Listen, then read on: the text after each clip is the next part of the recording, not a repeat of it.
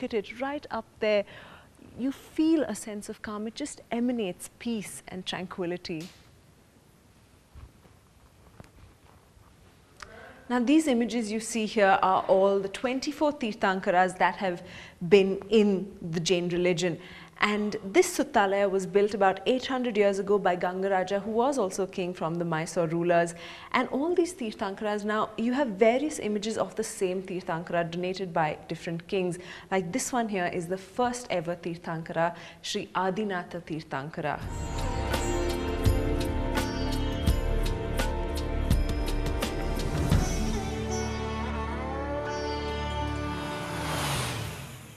After seeking the blessings of the Gomateshwara, it's time to move further down into the district to live the high life in Coorg. You hear so much about the coffee plantations and the famous Coorg hospitality, and I'm just headed to get a taste of that. I've been invited by Mr. Appaya to join in in the festivities of Kailpod, and I'm telling you, I can already sense a great day ahead.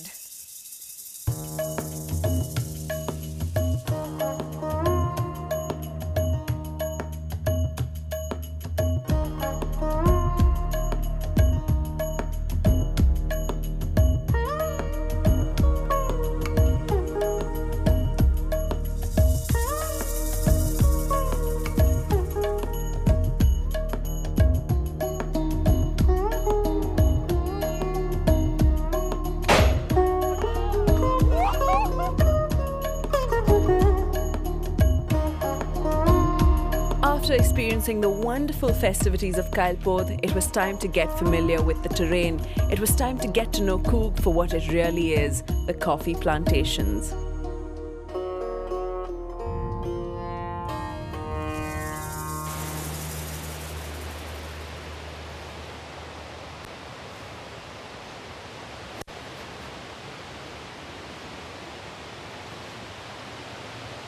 Another absolute must do is the Irpu Falls when you're in Coorg. It's small, it's quaint, and almost non descriptive, but once you're there, you are completely taken in by it, and I assure you, you will be completely soaked in too.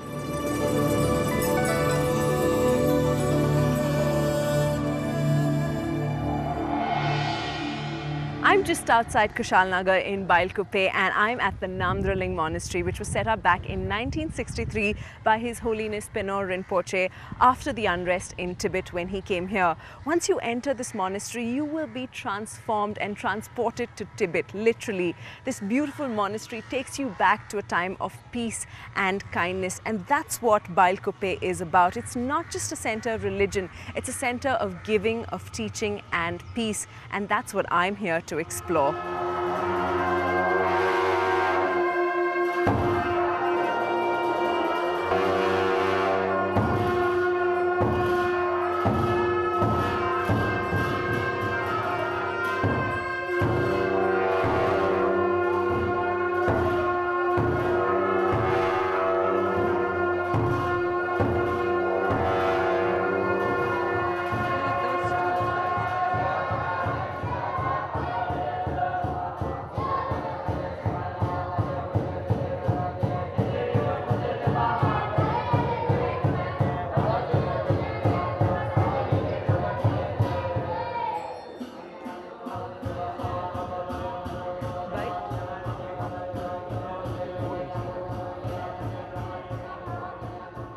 A visit to this prayer hall really can be such a strongly spiritual experience to be able to go in there and witness, you know, a sea of orange and red robes praying in unison. And when you're standing there in front of the three Buddhas, it truly is an indescribable feeling.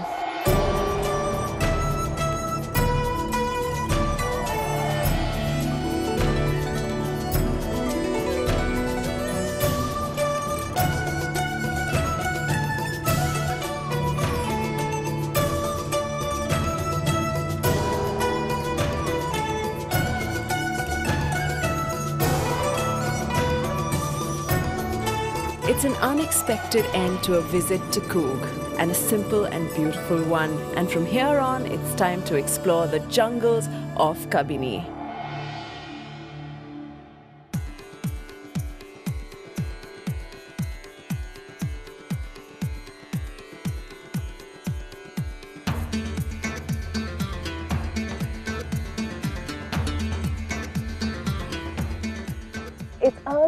Morning and we're off on a safari. There's a bit of a chill in the air and everything smells fresh. And right now I'm with Prasanna. Hi Prasanna. Hi, I'm Prasanna. I'm working here as a naturalist in Kabini River Lodge. Okay. Now we are going towards the southern part of Nagarhole. Right.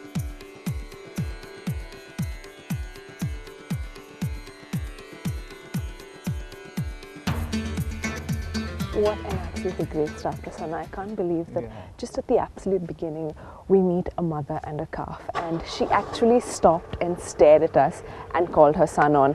I think it's going to be the beginning of a great safari, so let's not waste any more time and head right off. Okay. The Nagarhole Forest Reserve is famous for its sightings. At almost any time of the year, you can be sure to spot a herd of elephants, wild cats like the tigers and the leopards, and even the great Indian gaur. And of course, there's always an abundance of deer and peacocks. I must say, it's such a wonderful experience to be able to drive through this forest because it's green, it's absolutely beautiful, and of course, there's always the possibility of a wild encounter.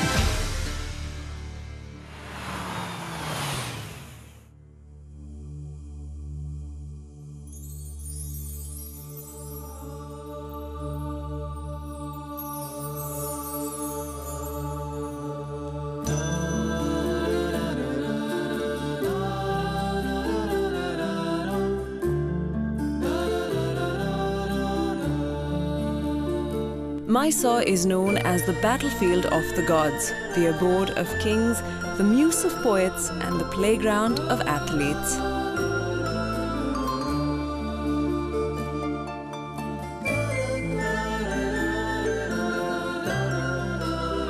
The Mysore Palace is the pride of the city, an eclectic synthesis of architectural styles. Once home to the famed Wadiyar Maharajas of Mysore, today it's a museum that houses global treasures reflecting Mysore's rich cultural heritage. The Chamaraja Circle can be found at the north gate of the Maharaja's palace with a beautiful marble statue of Chamaraj Wadiyar X.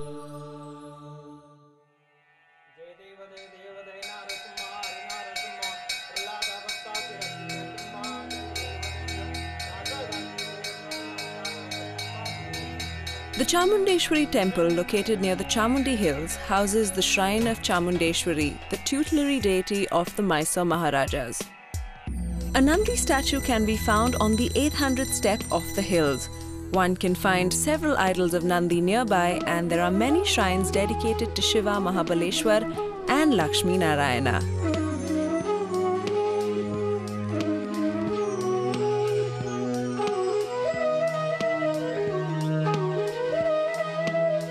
Built by the Wadiyar Rajas of Mysore, St. Philomena's Church is one of the oldest churches in India, dating back to 200 years.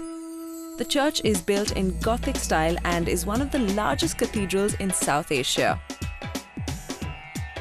Here, the Holy Mass is performed daily in Kannada, Tamil, and English at the table in the Sanctum Sanctorum. Srirangapatnam was the original capital of the Mysore state under Tipu Sultan. The Darya Daulat Palace was built mainly of teakwood and was the summer palace of Tipu Sultan. The beautiful Darya Daulat Bagh gardens attract scores of tourists around the year.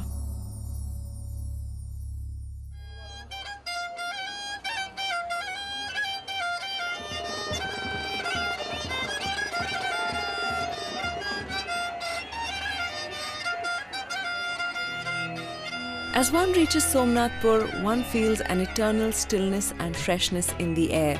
As here, amidst the lasting rural serenity, stands Somnathpur Temple, one of the grandest of the Hoysala monuments.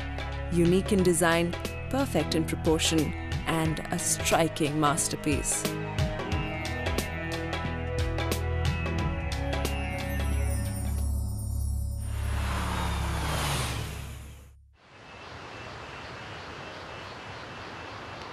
I'm about 65 kilometers away from Mysore at the Shivana Samudra Falls. Now Shivana Samudra consists of two falls, the Barachukki and this one here, the Gaganchukki. This is where the Kaveri river comes crashing down these rocks to fall 75 meters down.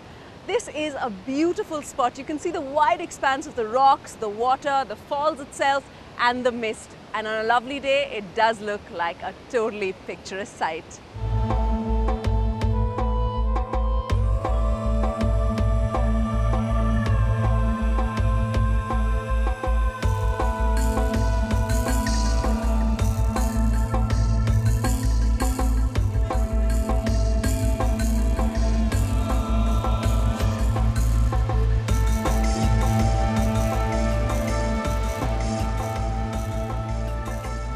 This here is the main attraction of the Shiva Samudra Falls, the Barachukki, and it's just so pretty.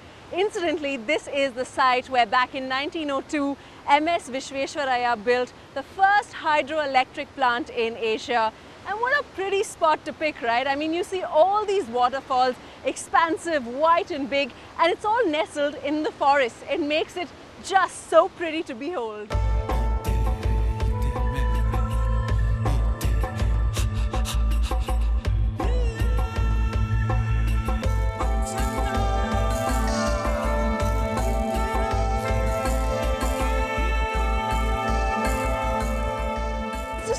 Trek down from up there to this spot and once you get here it's not just absolutely beautiful visuals but also a short adventurous boat ride right to the waterfalls. That's right, Lingraj here tells me he's going to take me right under the shower and I'm taking him up to the challenge but now I'm beginning to wonder if I have what it takes to actually go there. Well, I guess the best thing to do is figure it out. I must say this is already just so exciting. Anna, Bunny.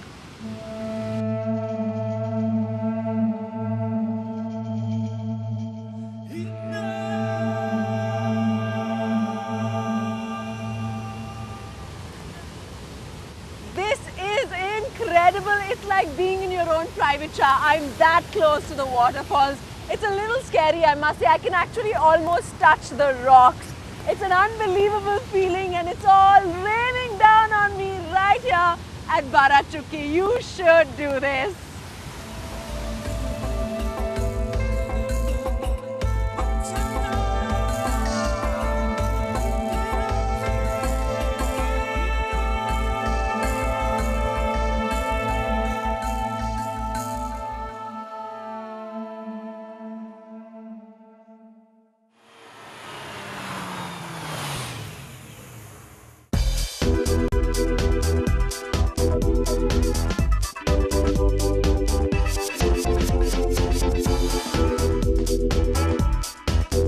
Up